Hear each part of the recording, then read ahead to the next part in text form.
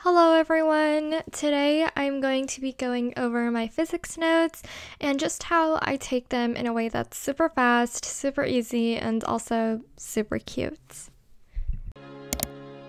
So to start off, we're going to be looking at how I make my headers. As you can see here, I like to use cursive and then just go in with a drop shadow. And I also like to just write things in all caps and then just go in with a drop shadow as well. I also like making a line with my highlighter and then just writing over it in cursive. And I like to write my letters in block letters and then outline them with a black pen.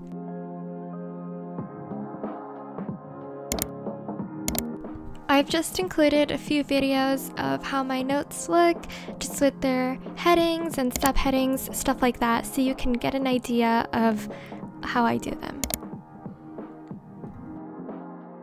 You can see here, I really like to make boxes with equations and then use a highlighter to emphasize them. I also like drawing diagrams and just emphasizing those with drop shadows as well. So this is kind of how I actually take my physics notes. You can see me here um, just writing down the heading in all caps with the marker side of my highlighter and I'm just doing this all in one color, which is going to be the theme for the rest of my notes. I like to keep it really simple and monochrome so it's easier for me to just write them really quickly without worrying about any other colors. You can see here that I'm actually writing a few words in cursive, and those are just words that aren't really important in the title, um, and it helps me to save space, but it also looks really nice. And then after that, I just go in with a nice simple drop shadow to add some visual interest.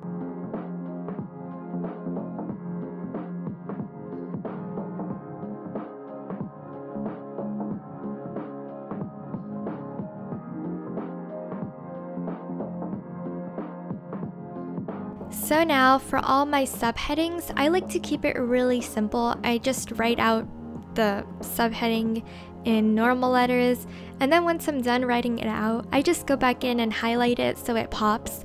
You might have seen in some of the videos I showed before, I tried writing it and then making like lines on the left and right, and maybe writing some words in cursive. That's something that you can do as well, but for the most part, I like to just highlight.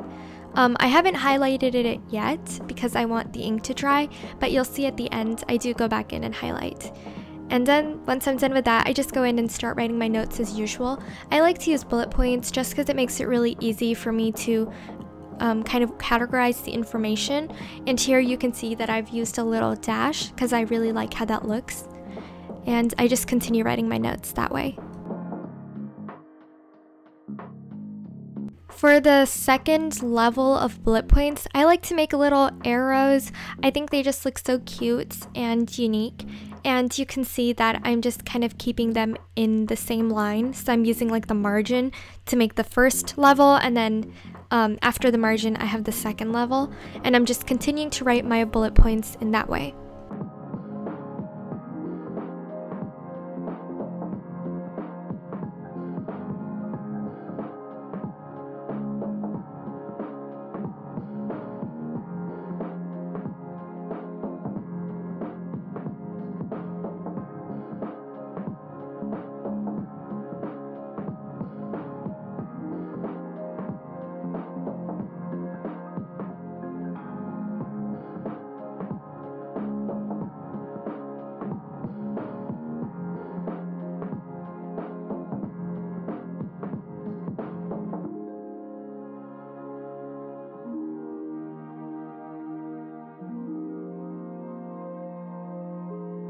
So here you can see me drawing a nice little diagram and I'm just using the same shade of magenta as before so I can tie in all of the elements together.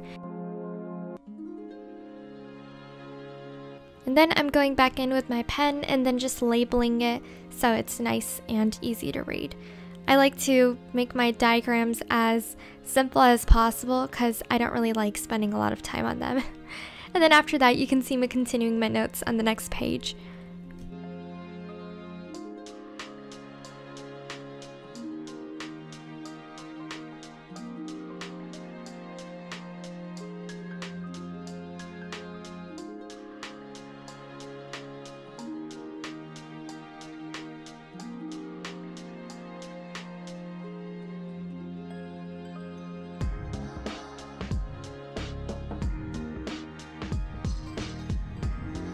You can actually see here, I started a new like subtopic, so I didn't really make a bullet point. And again, I will go back and highlight it, but you can just see that I left a little um, space between it. And I'm just continuing my bullet points after that, just like normal.